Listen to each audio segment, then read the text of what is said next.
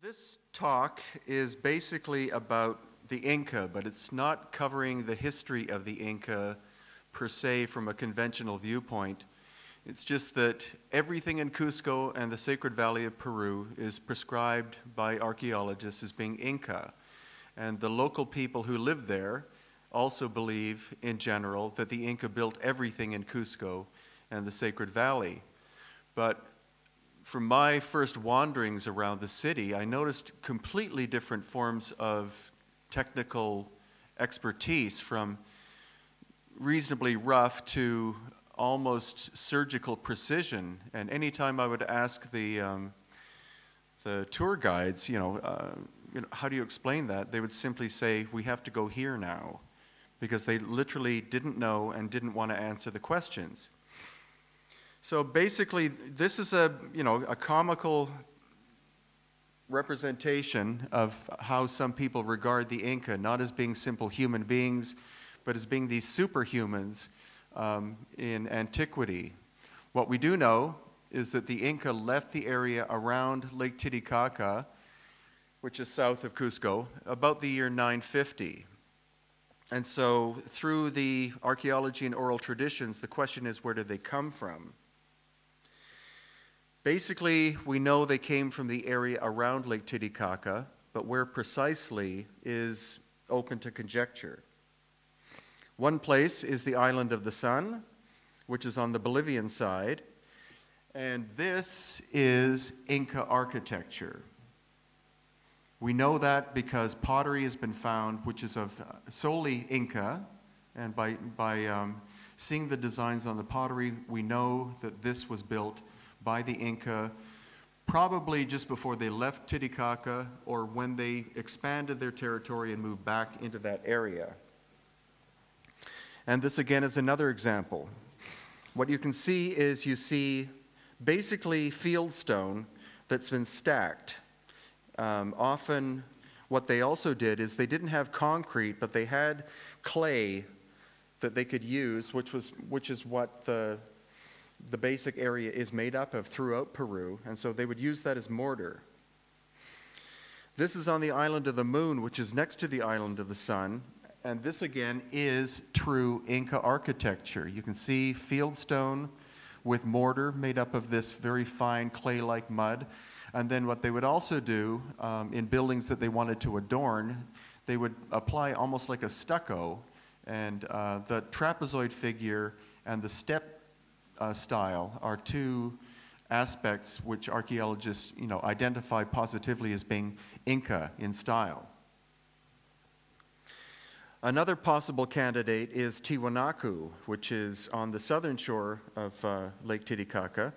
The problem is this, everything in this picture you can see, aside from the megaliths, the standing stones, was reconstructed in the 1960s out of what was lying in the area. So this was an attempt to replicate what it looked like without actually knowing what it looked like. But you can see this is megalithic in nature. And the most famous um, artifact in the Pumapunku Tiwanaku area is this. Uh, it's called the Sun Gate. One thing you'll notice about the Sun Gate is the major split, diagonal there. And that's how it was found in the 19th century. It was found broken in half and half sunk into the mud. And this is the neighboring site. It's actually part of the same site, but it's given a different name. And this is Pumapunku.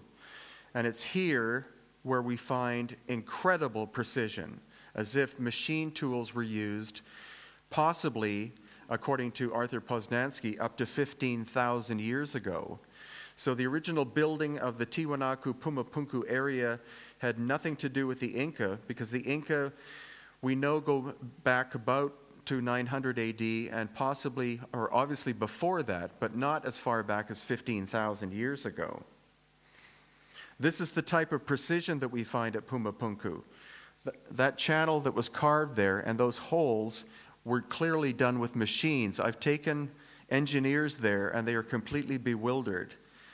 The common thought by um, archaeologists and anthropologists is that the Inca only had, up until the time that the Spanish conquered them in 1533 that they had uh, copper chisels, bronze chisels, and stone hammers. You cannot achieve that level of um, accuracy with those tools. And that's why the Tiwanaku Pumapunku area are so obscure. This is an example of, of how uh, some German engineers replicated what they thought some of the stones at Pumapunku looked like originally before they, uh, the site um, underwent massive um, destruction, mainly due to later tribal people coming and recycling the materials. And these are the people who have been found at Tiwanaku. This, of course, goes back to my talk about um, these enigmatic people with elongated skulls. But these skulls have been found in abundance in the Tiwanaku Pumapunku area. However, they're no longer on display, not even one of them in the museum there. Now, the oral tradition states that um, Manco Capac and his wife, who was also his queen, uh, and his sister uh, traveled fr- uh, triumphantly from Lake Titicaca and founded the city of Cusco.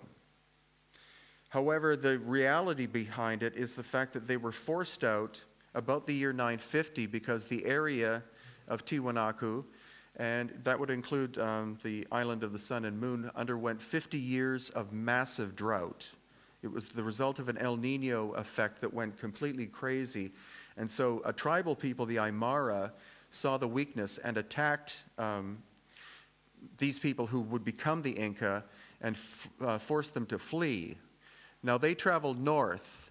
None of the oral traditions nor the Spanish chronicles state why they traveled north rather than south or east or west. I think they were following a road that already existed. And this is how the Inca are depicted.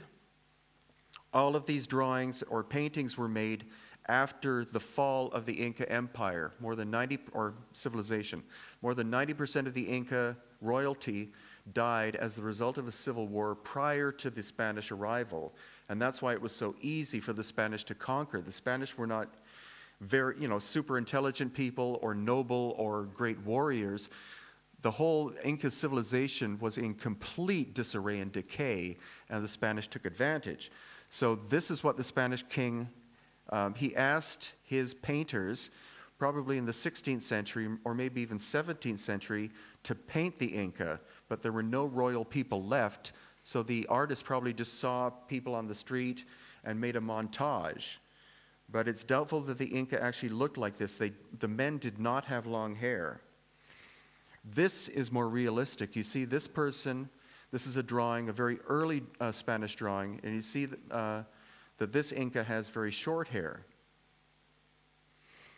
Now, where they were bound was what's called the Sacred Valley of Peru, and that's outside of Cusco. The reason it's called sacred is because it's incredibly productive um, in terms of agriculture and probably has been for thousands of years. So, for a people fleeing from a place where food could barely be grown, this would obviously become named the Sacred Valley.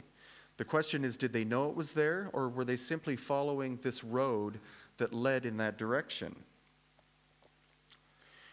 This is the type of, uh, this is the Wari culture that preceded the Inca, who the Inca conquered. And again, you see uh, dry stacked stones, sometimes with a clay mortar mixed in. It's not sophisticated in terms of construction. But this is what the Inca would have encountered about an hour's drive south of Cusco on this ancient road, which is now the major thoroughfare. This is an example of Inca style construction. Again, it's uh, basic stone mixed in with clay mortar. But this is megalithic construction. Multi ton blocks fitting together without mortar whatsoever, and in most places you can't fit a human hair in between these joints. This man is Dr. Arlan Andrews. He's an engineer from the United States, and I took him there. And after he um, spent at least two hours there, I asked him and I said, Could people with uh, bronze chisels and stone hammers make this? And he said, No, that's impossible. He couldn't explain how this was made or who made it. I believe that this megalithic construction was there when the Inca arrived.